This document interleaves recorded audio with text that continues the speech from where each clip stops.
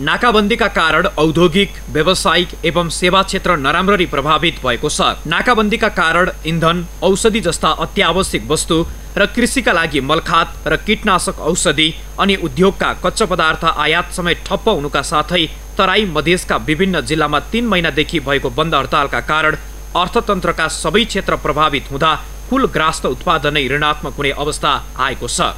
साढे तिन दशक अघि आर्थिक वर्ष दुई हजार छत्तिस सैतिसमा प्रतिकूल मौसमका कारण अर्थतन्त्र दुई दशमलव तिन प्रतिशतले ऋणात्मक हुन पुगेको थियो।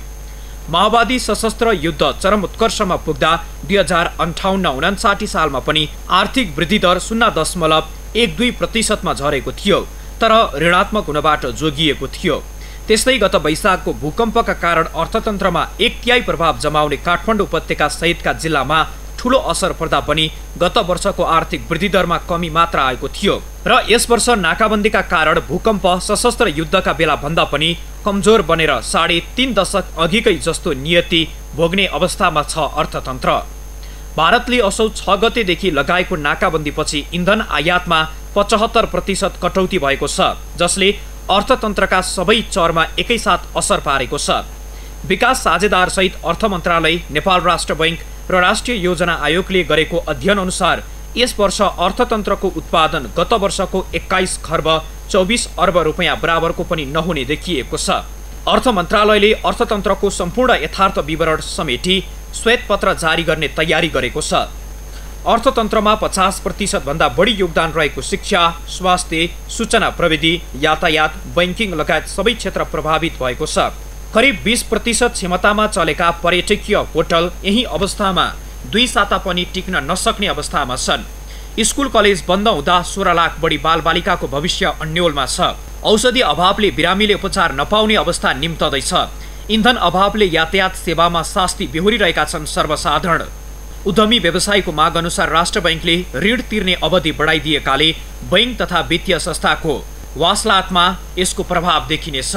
त्यस्तै मुख्य औद्योगिक करिडोर रहेका वीरगञ्ज विराटनगर भैरहवा लगायत क्षेत्र तीन महिनादेखि ठप्प हुँदा त्यहाँका साना ठुला गरी दुई हजार दुई सय उद्योग चल्न सकेका छैनन् भने चार लाखभन्दा बढी मानिस कामविहीन रहेका छन्। देशका अरू उद्योग पनि जेनतेन एक सिफ्ट चलेका छन्। जसले दैनिक दुई अर्ब रुपियाँ बराबरको नोक्सानी बेहोर्नु परेको नेपाल उद्योग वाणिज्य महासङ्घले जनाएको छ। कुल ग्रास्त उत्पादनमा एक तिहाईभन्दा बढी योगदान रहेको कृषि क्षेत्र नाकाबन्दीको चपेटामा परेको छ।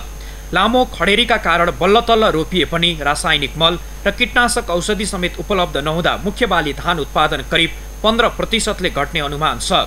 हिउँदे बाली लगाउन पनि किसान अन्यलमा छन्। फलफुल तरकारी लगायत उत्पादित कृषि उपज बजारसम्म पुर्याउन नपाउँदा यसको असर कृषकको आमदानी र अर्थतन्त्रमै देखिएको छ। अर्थतन्त्रको सबै चर प्रभावित भएकाले न्यून आय भएका ठुलो जनसङ्ख्या गरिबीको रेखामुनि धकेलिने देखिएको छ।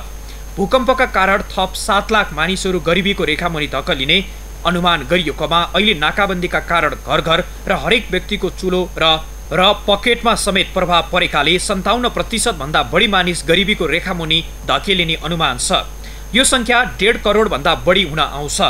दिनको दुई अमेरिकी डलर अर्थात् कम्तीमा दुई सय रुपियाँ पनि आम्दानी गर्न नसक्ने मानिसलाई गरिबको सूचीमा राखिएको छ। प्राकृतिक विपत्ति र नाकाबन्दीका कारण अर्थतन्त्र सङ्कुचित हुँदा सबै पक्षमा देखिएको समस्याले आर्थिक वृद्धि दर ऋणात्मक हुनुका साथै मानवीय सङ्कट नजिकिँदैछ। नाकाबन्दीका कारण अर्थतन्त्रले साढे तिन दशक अघिको जस्तै नियति बेहोर्ने देखिएको छ।